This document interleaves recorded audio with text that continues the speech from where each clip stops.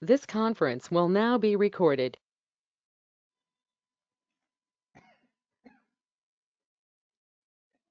So today let us start off with one more new topic that is microservices. So this microservices, it's not a framework. This is not a framework. It's an architecture. It's an architecture to develop the software applications. So this microservices term is not only related to Java, we can relate to any other technologies like it may be related to PHP or it may be related to .NET or it may be related to uh, Python so we can use this microservices concept to any technology. Now, so what is this microservices is just dividing and work here. Microservices is used to break up is used to break up single large monolithic system single large monolithic system into multiple independent components. So single large monolithic system means up to now whatever the projects we have done, we call them as monolithic applications. What is this monolithic is? What we have done whenever you are creating web project, we are creating only one web project. We are deploying only into one server and we are connecting only to one database such type of things we call it as monolithic applications. So this monolithic application we want to divide into multiple independent components. Such type of architecture only we call it as microservices. Just a breakup concept only we call it as microservices. Divide and work concept only microservices. It's a architecture. It's not a framework. It's a architecture. Okay. So what is this monolithic is? In monolithic application, in monolithic application, all functionalities, all functionalities are part of single program.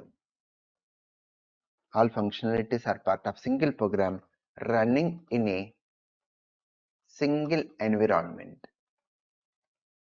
Running in what? Single environment.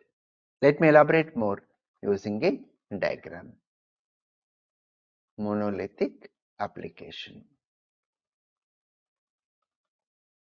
Let me open the diagram. So this is our monolithic application. In the case of monolithic application, we create only one project. We go with only one web project, like example, shopping application, and we deploy only into one server. We deploy into one server. And in this, we are going with the components like buyer profile, the models like buyer profile, catalog management, cart management like this. And all functionalities are part of what? Single application means we develop all these modules only in one project.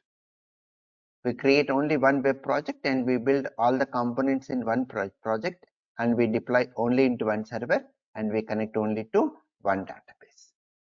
We connect to what? Only to one database here. Okay from client. It can be a web client or mobile app.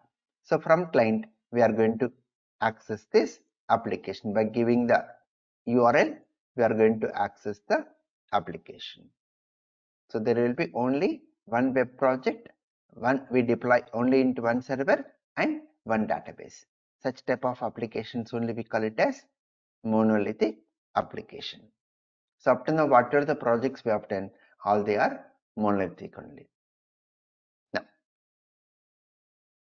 coming to this microservices, microservices architecture, it's an architecture, allows, microservices architecture allows,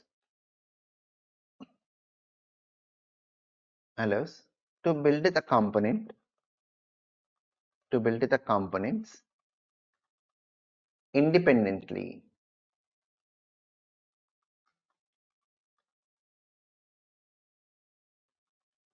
to build the components independently.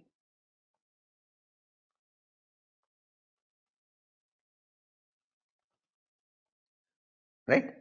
So in the case of monolithic application, what is it? All functionalities are part of single program. Here we go with only one web project, one web project. We deploy only into one server and we keep all functionalities only in one project and we connect only to one database. Whereas in the case of microservices, we build the components independently. Okay. And deploy the components and deploy the components independently. To integrate, again finally we have to integrate and to integrate to integrate into a single larger system. Again finally to make the complete application we have to make it we have to integrate into single larger system. So this integration is the major concept of this microservices. So we are dividing and working but finally we have to integrate it to make it as a larger system. So this integration part is the major concept what we need to discuss related to this microservices. Now, clear up here the need of going with microservices? Right? Then, how to take care of this integration process? Before that, let us understand more of this microservices using a diagram. microservices architecture. When you go with microservices, here we have built the components independently. Check it here, see, buyer profile. Buyer profile, we are creating like a microservice using Java technology and we deployed into Tomcat server and connected to Oracle database. Next one, catalog management. We have created this component catalog management using .NET technology and we deployed into IIS server and we connected to SQL Server database. Coming to this cart management, we create like a microservice using PHP technology and we deploy into WAMP server and we connect to MySQL database. Right? Now, so here we are building every component independently and we are deploying into a different server and we are connecting to a different database. Now from client based on the API.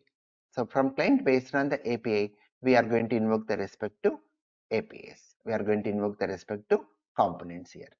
Now the major thing is one component should interact with other component.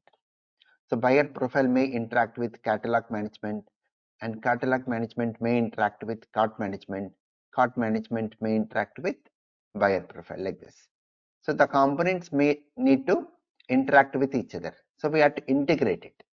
One component should be able to connect to other components. So this integration process, the integration process is the major concept of microservices. Then, then who is going to take care of this integration? Who is going to take care of this integration is we make use of Netflix Eureka server. Netflix Eureka server. If someone is asking you how you developed microservices means you can answer it as by using Netflix Eureka server.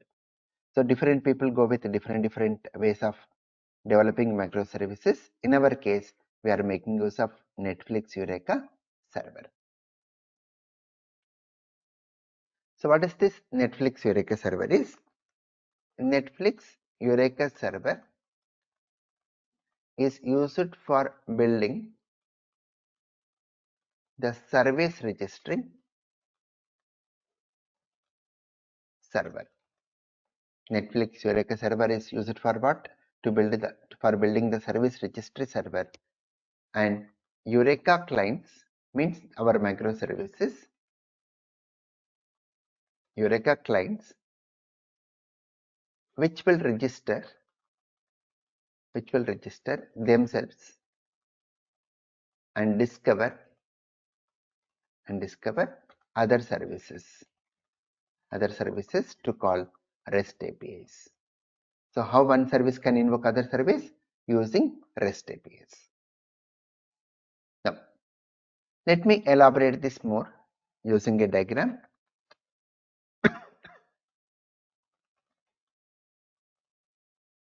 Eureka server.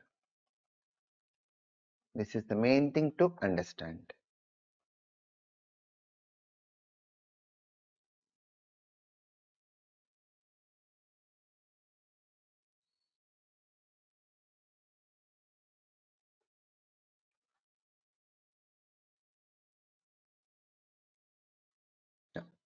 Let us consider we have created one microservice and let me go with the name student microservice.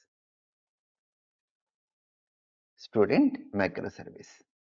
Now, what this student microservice is going to do is it is going to accept the school name. It is going to accept what? School name. And based on the school name, we want to return the list of students present in that school. Whatever the school name we give, we want to return the list of students present in that school. That is the task of student microservice. Now, let us suppose this student microservice is deployed in Tomcat server. Student microservice is deployed in Tomcat server running in port number running in port number 1111 some port number. Now let us consider we are having one more microservice school microservice.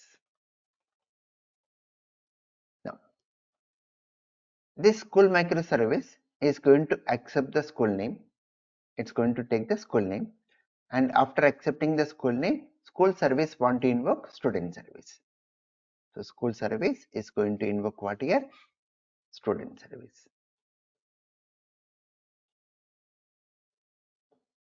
So one service is invoking other service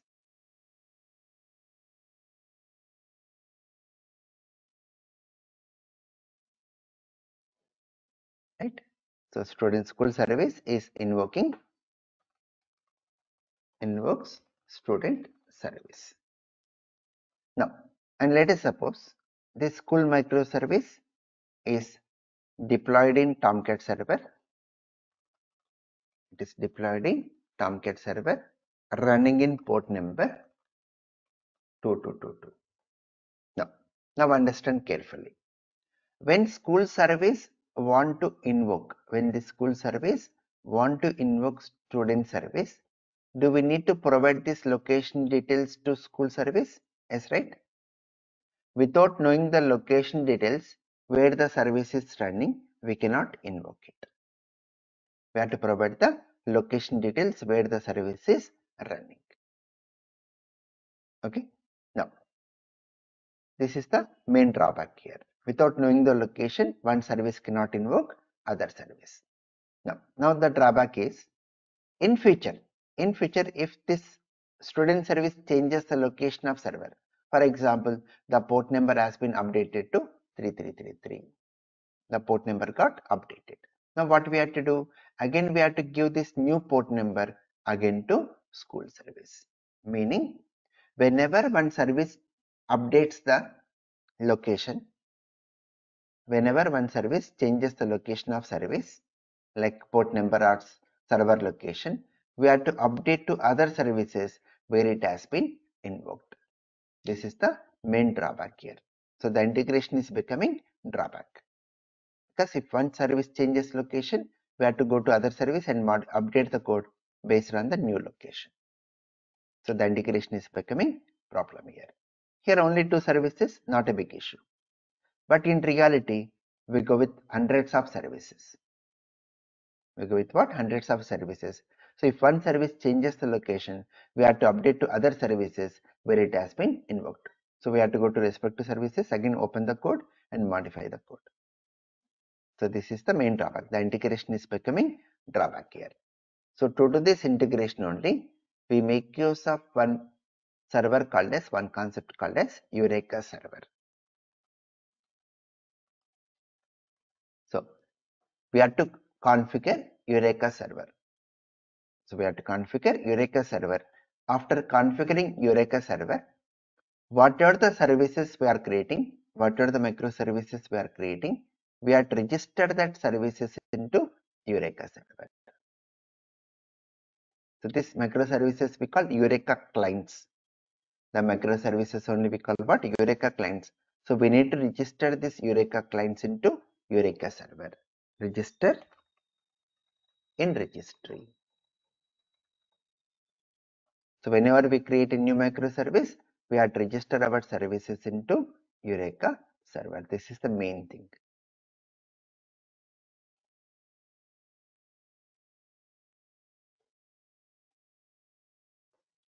Register in registry.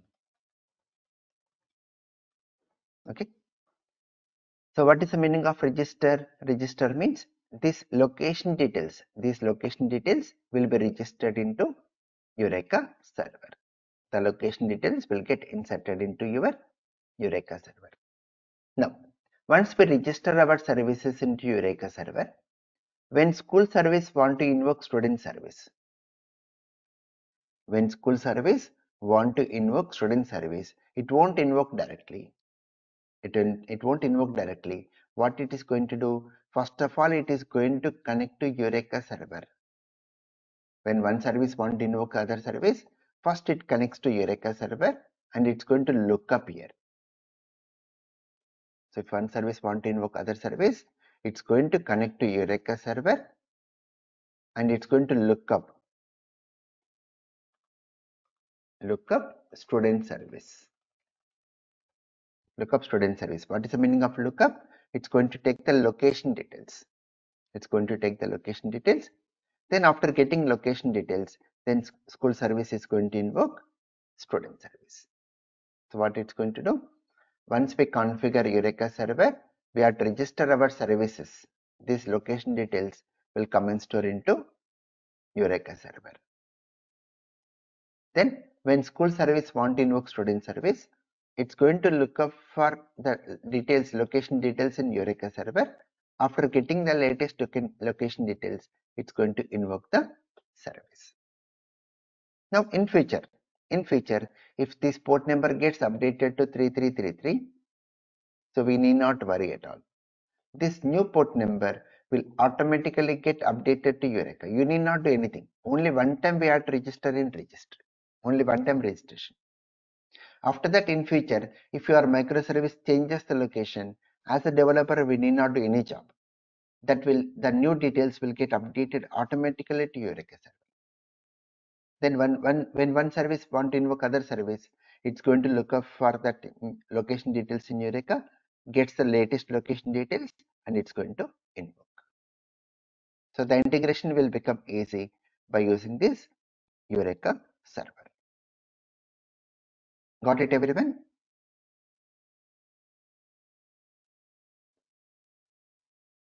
Clear? Any questions?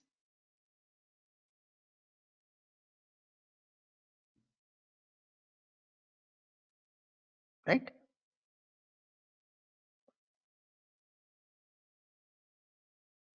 So we need to see the complete application on this. So we have to create student service, complete application we develop so we, are, we should create the student service and check whether that service is working properly or not. Then create school service and invoke school service, invoke student service from school service and see the drawbacks.